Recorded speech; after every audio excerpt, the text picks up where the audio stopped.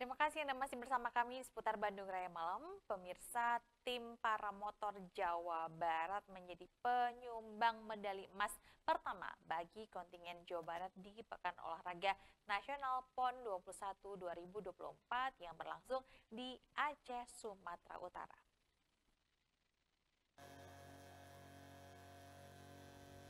Atlet paramotor Arlen Verta Ramadan berhasil meraih medali emas pertama bagi Jawa Barat pada nomor FL Solo Putra Pure Navigasi dengan total nilai 1000 per 15 turn point dan jarak tempuh 39,11 km. Perlombaan ini dilaksanakan di venue Bandara Maliku Saleh, Loksemawe, Aceh Utara hari Kamis. Medali perak diraih oleh atlet tuan rumah dari Aceh, Ken Kiham, Sementara medali perunggu jatuh ke tangan Joko Sutanto dari Banten. Komandan Satlak Jabar Hatrik, Yun Yun Yudiana menyatakan, Arlen Verta Ramadan telah memastikan medali emas pertama untuk Jawa Barat dan ini menjadi awal yang baik untuk pencapaian emas berikutnya.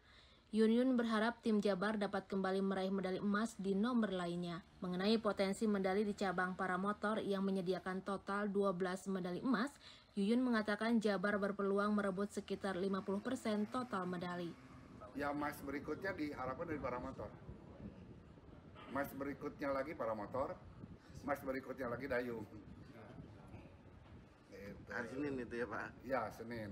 Walaupun memang dayung ini masih uh, ramai juga iya. terkait dengan kebijakan, kebijakan yang PB. Pembatasan. Sampai tadi pagi kebijakan masih tetap seperti itu.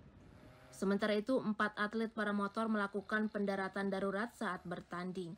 Mereka yaitu Hasbul Asra dari Aceh, Supratman asal Riau, Jevi Oki Cahyono dari Nusa Tenggara Timur, dan Azhar Teguh Pangesti asal Bali.